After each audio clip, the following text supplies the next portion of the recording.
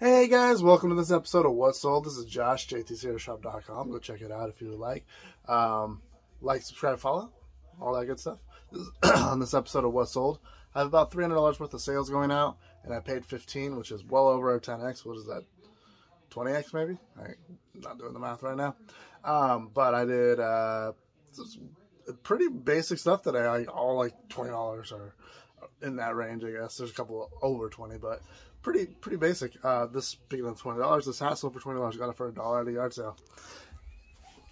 And then we have old uh, Dale Murphy here. A lot of base. This is uh, Mar- uh, March thirty first, so a lot of baseball stuff is going out. Um, that sold for fifteen. Uh, this Steffi Graf sold for thirteen on Etsy. Uh, that another fifteen dollars for the sports um, sports page. Uh, this program got it's all beat up. I, I think this was six dollars, and they bought both of those, and this was fourteen, so twenty dollars for for both. And then this is another bundle. Two they uh, someone bundled two uh, magazines. This is a 1970s. Um, what are they now? They're Los Angeles Angels. they always keep changing their uh, name there. And so I think this is about thirty dollars for both.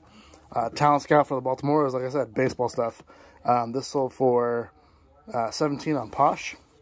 Uh, this was just a basic shirt I got for free, and it sold for 13, I believe.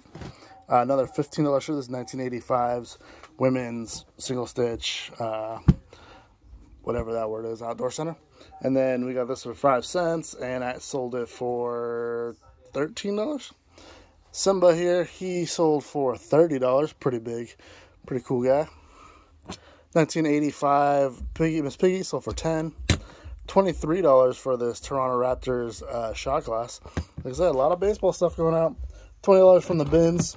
Should make about eh, $8 on that. Uh, this was in pretty rough shape. He's got stains all over him.